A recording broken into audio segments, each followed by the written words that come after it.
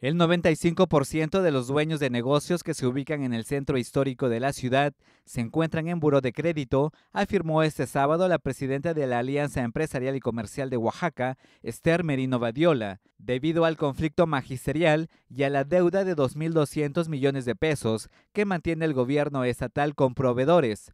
Los pequeños y medianos empresarios no han podido liquidar los créditos que mantienen con la banca privada, lamentó la dirigente cuáles son los avances. Y hoy eh, un avance concreto no lo tenemos.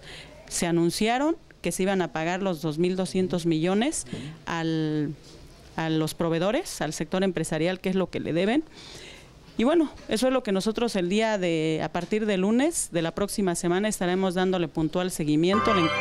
Tras el anuncio hecho la semana pasada por la nueva administración estatal en torno a que de manera paulatina serán liquidados los saldos que heredó el gobierno de Gabino Cue Monteagudo, Merino Badiola demandó que también sean cubiertos los intereses generados. Con ello dijo, los empresarios podrían hacer frente al pago promedio de 1% mensual por concepto de intereses que tienen que sufragar por los créditos obtenidos las cosas se tienen que decir con toda la verdad y con toda la transparencia. El gobierno está obligado, debería de pagar los intereses por los...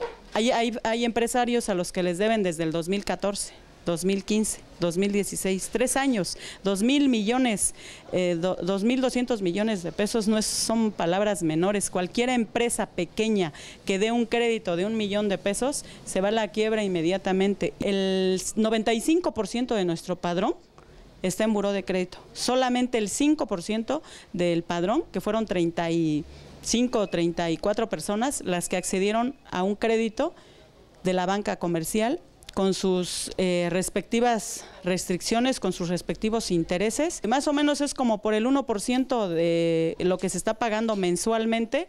Si el gobierno pagara el 1% de los intereses de los 2.200 millones, estaríamos hablando de 220 millones mensuales de intereses que se les pagarían, lo cual no creo que lo vayan a hacer.